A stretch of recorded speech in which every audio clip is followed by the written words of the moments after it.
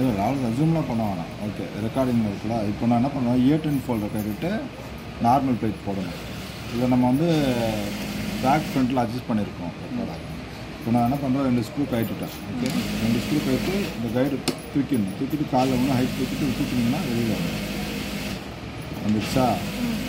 வந்த பிறகு இந்த பிளேட்டை கொஞ்சம் லேசாக லேசாக இது கொஞ்சம் க்ராஸ் பண்ணிட்டு இது வெளில வைக்கணும். இந்த ஸ்க்ரூ தெரியுதா? அதுக்கு முன்னாடி இந்த கைடை கட்டணும் இந்த கைடு கட்டினா வெளியே வந்துடும் இந்த ரெண்டு பல்லு பல்லு ஸ்க்ரூவாக பொறுமையாக கட்டணும் கட்டுறா இது கட்டணும் அந்த பல்லை நம்ம உட்கார வச்சு சும்மா டைட் பண்ணாலே தெரிஞ்சிடும் விஷயம். டைட் யூஸ் பண்ணுறோன்னா யூஸ் பண்ணுறோம் இருக்காச்சா இப்போ எதுவுமே இல்லை. இப்போ நான் என்ன பண்ண போகிறேன் இந்த பல்லு எடுத்து மாட்ட போகிறேன் இந்த பல்லை ஸ்க்ரூ வந்து இதுக்கு மேலே வச்சுன்னு ஒரு நிற்க வச்சுக்கணும். இப்போ இருக்குல்ல கேமராவில் பாருங்க. கேமரா தான் வேணும் இதுக்குள்ளே வச்சுட்டு ஸ்ட்ரெயிட்டாக வச்சுட்டு ஜஸ்ட் கையில் டைட் பண்ண போகிறேன் சரிங்களா அடுத்த ஸ்க்ரூ எடுத்துகிட்டு ராங் த்ரெட்டு போட்டுருக்கூடாது இப்போ பொறுமையாக டைட் பண்ண கையில்.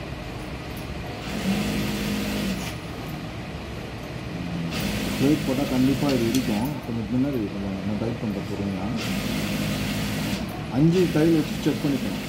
என்ன டைல் அஞ்சு வச்சு டைல் வச்சு செக் பண்ண இடிக்குதா? பல்லு கீழே அடிச்சா அந்த ரிவர்ஸ்ல வந்து கட கட கட கட கடன்னு சவுண்டு வரும். ஃபுல் டைட் வச்சிடலாம். இந்த மாதிரி ஸ்க்ரூ இருக்கும். தெரியுதா? மெலிசாக இருக்கக்கூடாது பெரிய ஸ்க்ரூ ட்ரைவரில் டைட்டும் மாட்டம் வராது.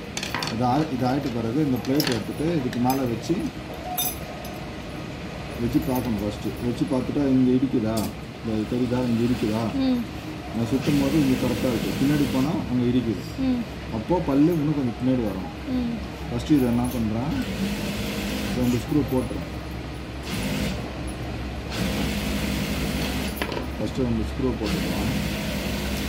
இன்னும் இன்னும் கைடு மாற்றலை ஓகேவா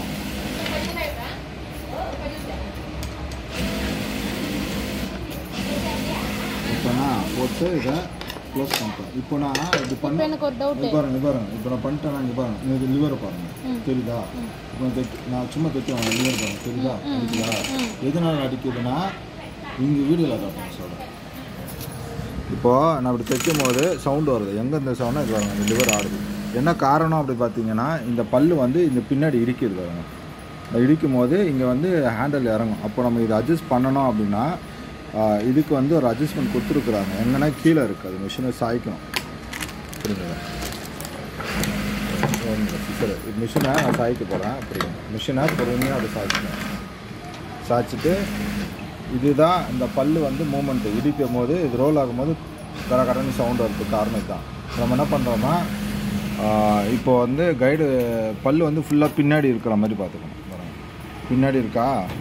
பின்னாடி ஃபுல்லாக பின்னாடி இருக்குது ஆ? நான் என்ன பண்ண போகிறேன்னா இதுக்கு வர இந்த ஸ்க்ரூ அடிக்கடி லூஸ் பண்ணக்கூடாது. ஏன்னா இது வந்து மர போயிடும் அலுமினியம் இல்லை. மர போயிடும் அதனால் இது இந்த ஸ்க்ரூ அட்ஜஸ்ட் பண்ணுறதுக்கு நேராக அப்படியே வந்தீங்கன்னா இங்கே இருக்கு பாருங்க ஸ்க்ரூ தெரியுதா இந்த ஸ்க்ரூ என்ன பண்ண போகிறேன்னா ஸ்க்ரூ ட்ரைவரில்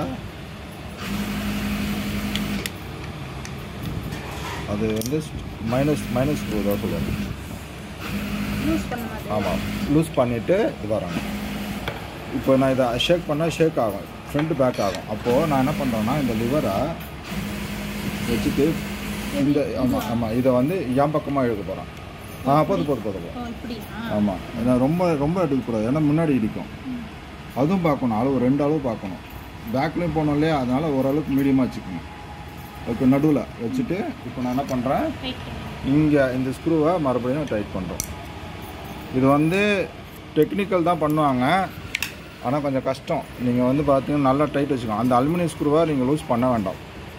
இதுனா உங்களுக்கு மெட்டல்னால மரம் போகாது ஆனால் இதில் அடிக்கடி பண்ணனா இது மரம் போயிடும் ஓகேவா இப்போ நான் வந்து ஃபஸ்ட் அடிக்கும் போது கட கட கடை நிச்சல இப்போ நான் என்ன பண்ணுறேன் இந்த இதை எடுத்துடுறேன். கேஸெல்லாம் எடுத்துடுறேன்.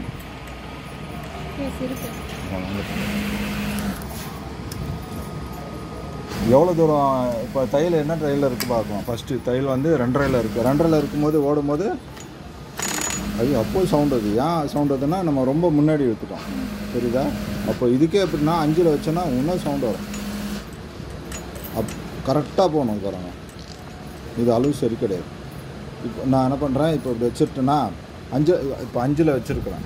ஃபுல்லாக அஞ்சில் வச்சுருக்குறேன். அஞ்சில் வச்சுட்டு இப்போ நான் லூஸ் பண்ணிட்டு இதை பின்னாடி தள்ள இந்த எட்ஜ் வரைக்கும் தள்ள இந்த இந்த டாட்ஸ் தெரியுதா? பின்னாடி. இந்த டாட்ஸ் வரைக்கும் தள்ள போகிறோம் பாருங்க. அதுதான் அந்த லாஸ்ட் லாக்கு சொல்லுவாங்க. Last lock end lock loose பண்ணுறேன் லூஸ் பண்ணிட்டேன். இப்போ நான் அந்த எண்டு லாக்கு பாருங்கள். தள்ளவா? பின்னாடி போயிடுச்சா? சும்மா லேசாக அப்படி தள்ளினா போதும். இது அழுக்குனா போதும். ஆமாம் போயிடுச்சா? போயிட்டு இந்த இந்த ஸ்க்ரூவை அகைன் நான் அந்த ஸ்க்ரூவை டைட் பண்ணுறேன் இது டைட் வச்சுக்கணும் லூஸ் ஆகக்கூடாது. இப்போ இப்போ பார்க்கும்போது எங்கே இருக்குது அங்கே பின்னாடி கரெக்டாக முட்டினு கரெக்டாக இருக்குது இப்போ இந்த பக்கம் சுற்றி பார்க்கலாம். ரிவர்ஸில் இங்கேயும் கரெக்டாக இருக்குது இது பெரிய தையல் செட்டிங் வந்து பெரிய தையல் சின்ன தையல் செட்டிங் கிடையாது. இப்போ நான் மிதிக்கிறேன். இப்போ ஆமாம் மாற்றி அதில் இப்போ நம்ம அந்த கையை வைக்க வேண்டாம். இது ஃபோல்டர் மாற்றினா இந்த அட்ஜஸ்ட்மெண்ட் பண்ணணும். ஓகேவா இப்போ நான் மிதிக்கிறேன். இப்போ அந்த லிவர் ஆடலை. மூமெண்ட்டு கரெக்டாக இருக்குது தெரியுதா? சிசர் வெட்டிங் சிசர் அது கார்டு போடணும் ஒரு செகண்ட் இப்போ நான் குறுக்கு அடித்து பார்க்குறேன் குறுக்கு அடிக்கிறேன். என்ன பண்ணாலும் இந்த லிவர் ஆடாமல் கரெக்டாக இருக்குது தெரியுதா? லிவர் ஆடாமல் பக்காவாக இருக்குது இதுதான் செட்டிங் இதுதான் மேனுவல் செட்டிங் கரெக்டாக செட்டிங் அஞ்சில் வச்சு பார்க்கும்போது பின்னாடி போய் பல்லு அங்கே கரெக்டாக இங்கே அஞ்சில் இங்கே நிற்குதா அப்படியே இந்த வீலை இந்த வீலை பின்பக்கமாக பொறுமையாக வரும். எப்படின்னா இந்த வீலை பின்பக்கமாக இப்படி. இந்த மாதிரி பண்ணும்போது இதோ பின்னாடி இது வரைக்கும் வருதா? இது அளவு. இந்த எட்ஜு அந்த எட்ஜு இந்த இந்த லெஃப்ட் எட்ஜையும் இடிக்கலை அந்த எட்ஜிலையும் இடிக்கலை. பெரிய தேலுக்கு பெரிய தேயிலில் செட் பண்ணிட்டீங்கன்னா நீங்கள் அப்போ தான் உங்களுக்கு கரெக்டாக இருக்கும். சின்ன தேயில் வைக்கும்போது ரஃப் அடிக்கும் போது கடகடன்னு சவுண்ட் வராது. இந்த பிரச்சனைலாம் வரும். ஓகேவா இது பிடிச்சிக்கோங்க சார் அடுத்தது நான் என்ன பண்ண போகிறேன் இந்த ஆர்டினரி கைடை மாட்ட இப்போ நான் ஃபோல்டர் போடும்போது இவ்வளோ அட்ஜஸ்ட்மெண்ட்டு நம்ம பண்ண வேண்டியது கண்டிப்பாக அவசியம். அதே மாதிரி அந்த பல்லை நீங்கள் பார்த்தீங்களா இடிச்சது பார்த்தீங்களா அந்த பல் அட்ஜஸ்ட்மெண்ட் நீங்கள் வைக்கணும். பல் அட்ஜஸ்ட்மெண்ட் வச்சா தான் உங்களுக்கு கரெக்டாக வரும். வச்சுட்டேனா? வச்சுட்டு இப்போ நான் ஸ்விங் பண்ணி பார்ப்பேன் வச்சு பார்க்கும்போது எனக்கு கரெக்டாக இருக்கான்னு செக் பண்ணுவேன் நீங்கள் பார்த்துங்க கேமராவில் கிட்ட காட்டுங்க. ஓகேவா கைடு அட்ஜஸ்ட்மெண்ட்டு இப்போ நம்ம கைடு சென்டரில் அதுக்கும் ஒரு அட்ஜஸ்ட்மெண்ட் இருக்குது அதுவும் சொல்லி கொடுத்துறேன். சில பேர் கைடு சென்டரில் ஊசி உடையுதுன்னுவாங்கல்ல? அதுக்கு ஆமாம் ஆமாம் பல்லு இல்லை ஊசி உடையுதுன்னு சொல்லுவாங்க. ஊசி உடையுதுன்னா அப்போ பல்லு ப்ராப்ளம் இல்லை. கைடு கைடில் ஊசி பட்டு உடையுதுன்னுவாங்க. அதாவது இப்போ நான் கீழே இறக்குறேன் கைடை கீழே இறக்கிட்டேன். ஊசி கீழே இறக்கேன் சென்டராக இருக்கான்னு பார்க்கணும். சென்டர் இல்லை அப்படின்னா இந்த ஊசி ஃபுல்லாக கீழே இறக்கிட்டு இதை வச்சு அட்ஜஸ்ட் பண்ணணும். இந்த ஸ்க்ரூவை அது வரும் இந்த ஸ்க்ரூவை இருக்குல்ல? ஊசி கீழே இறக்கி தான் பண்ணணும் தவிர மேலே வச்சு பண்ணக்கூடாது. தப்பு. இங்கே காட்டுங்க. இப்போ கரெக்டாக தானே இருக்குது? கரெக்டாக இருக்கு சொல்லி கொடுத்துறேன். இங்கே இங்கே காட்டுங்க. இங்கே கேமரா இங்கே காட்டுங்க. யூஸ் பண்ணிட்டேனா? யூஸ் பண்ணிட்டு இது ஆட்டினா ஆடும் வட வடன்ட்டு. ம். ஓகேவா? நான் கரெக்டான பொசிஷன் வச்சிங்கன்னா பொசிஷன் வச்சுட்டு விட்டுடலாம். கரெக்டான பொசிஷன் வச்சுட்டு அந்த ஊசி நம்ம ஊசி நடுவில் கரெக்டாக ஊசி நடுவில் அந்த ரவுண்டுக்கு நடுவில் இருக்குது கரெக்டாக இருக்கணும். அதுக்கப்புறம் அது டைட் பண்ணணும்.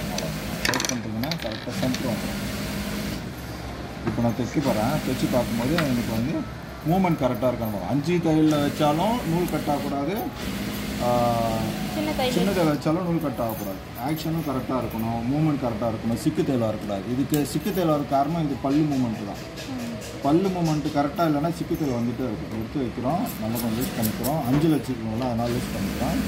இதுலேருந்து இதை இழக்கிறேன்.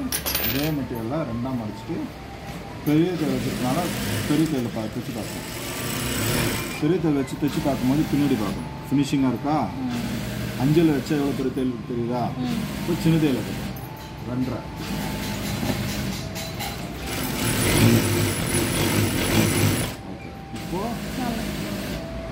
நல்ல தான் இருக்குது நான் எக்ஸ்ட்ரா தையல் இருக்குது இந்த நூலை சுற்றி போடுங்க.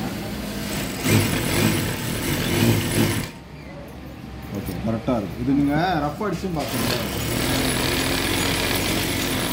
இந்த மாதிரி ரஃப் அடிச்சும் பார்த்துக்கணும் ஓகேவா சரி எனக்கு இன்னும் டவுட்